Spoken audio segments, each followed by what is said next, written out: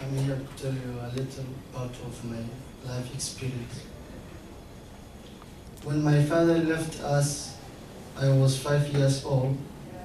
Every single day, I asked, I asked my, my mother, where is my, where is my father?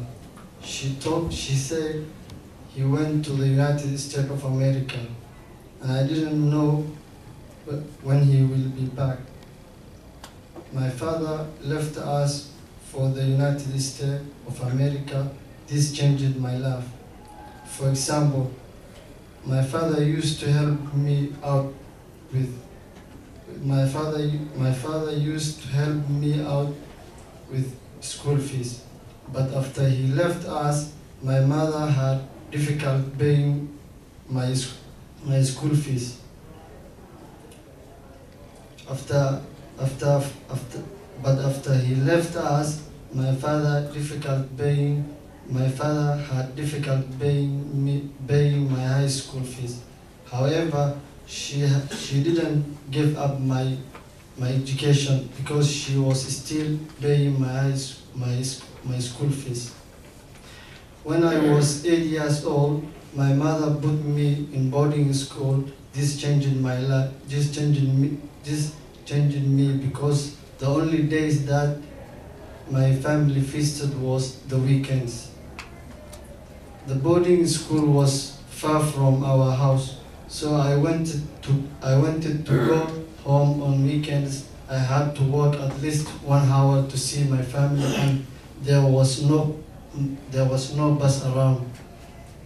After five years, my mother came to see me while I was while I was in.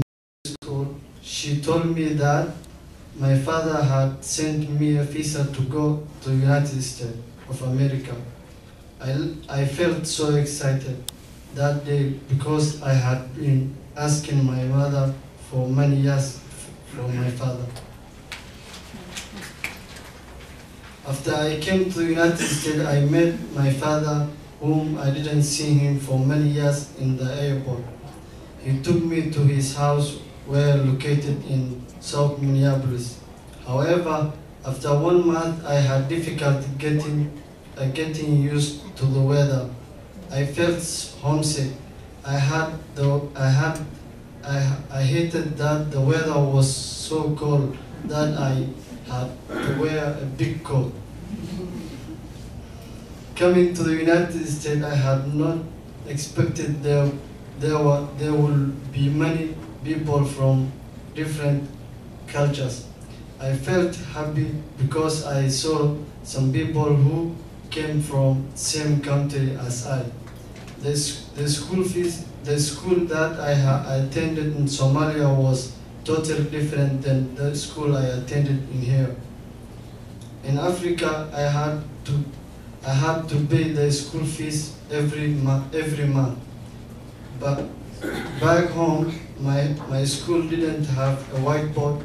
We, we still using the blackboard. Thanks to Halima Abdullahi, who is my intelligent mother, who didn't give up my education.